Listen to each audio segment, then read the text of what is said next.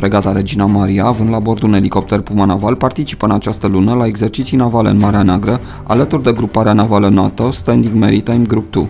Participarea fregatei Regina Maria la acțiunile grupării navale NATO din Marea Neagră reprezintă contribuția României la pachetul de forță pusă la dispoziția NATO și are ca scop întărirea încrederii și dezvoltarea interoperabilității între aliați.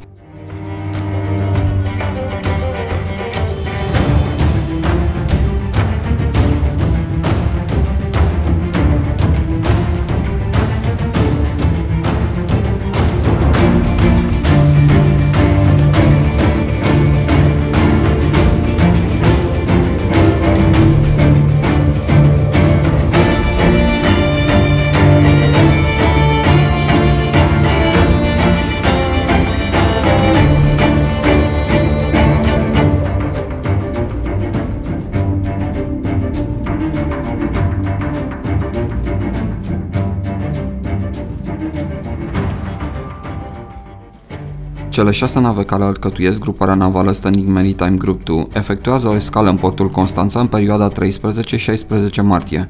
Gruparea navală NATO este una dintre cele patru grupări navale multinaționale ale Alianței, fiind o forță maritimă integrată permanentă, gata de acțiune în timp de pace sau în situații de criză.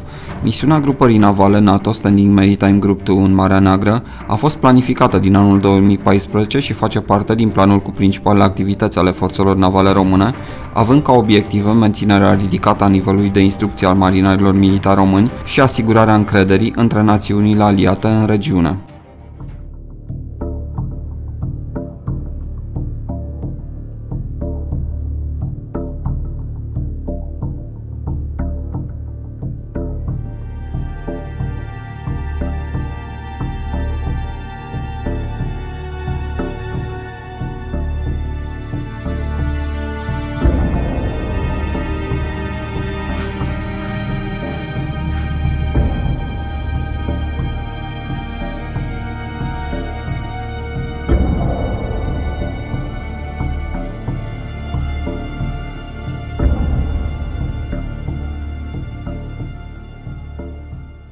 ハハハハ!